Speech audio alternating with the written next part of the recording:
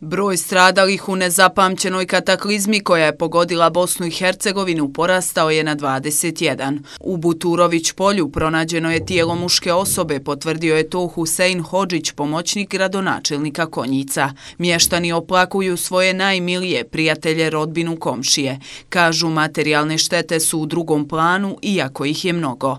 Praktično je uništeno sve ono što su godinama stvarali. Dvorišta i kuće prepuni su velike količine mulja, kamenja i drveća.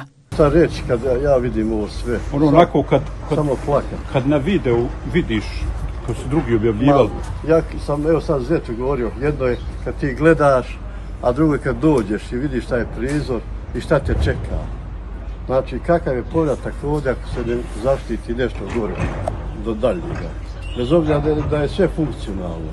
Jeste li vi, evo, evo očistite to, sredite sve to, ovaj, šta planirate Da li, da li ovo čistiti ili čekati da se tu nekako zaštitite od, od, od eventualno, jer mnoge su naslage gore na putu koje mogu se opet pokrenuti pa, od, od vode. Pa mi ne znamo stvarno. A strah od novog apokaliptičnog scenarija i više je nego opravdan, jer su iz Hidrometeorološkog zavoda Federacije BiH i Srpske izdata nova upozorenja na obilne padavine, posebno u području zapada, istoka i sjevera Hercegovine, kao i za dio centralne Bosne. Danas je u Donjoj Jablanici stala kiša, ali teren nije bezbjedan. Novo klizište juče se pokrenulo na magistralnom putu M17. Povodom katastrofalnog stanja pomoć je uputilo nekoliko zemalja regiona regiona i devet članica Evropske unije. Njima se pridružilo i 36 pripadnika tima za spasavanje Ministarstva unutrašnjih poslova Srbije sa 12 vozila.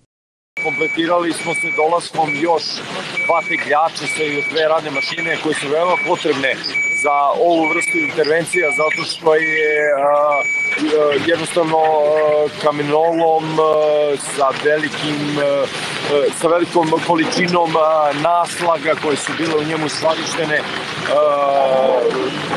sve se praktično uh, nasulo ovdje u nasilju. Tu smo, pokušamo radimo maksimalno sa ekipama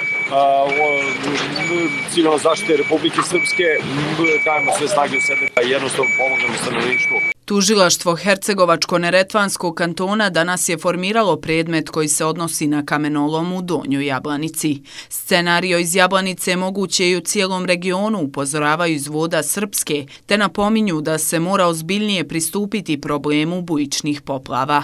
Agencija za vodno područje Jadranskog mora Mostar obavijestila je javnost da se za 9. oktobar predviđa oko 30-60 litara padavina po metru kvadratnom, što će posebno uticati na dijelove unesrećenih područja kao i na srednju i donju neretvu sa pritokama.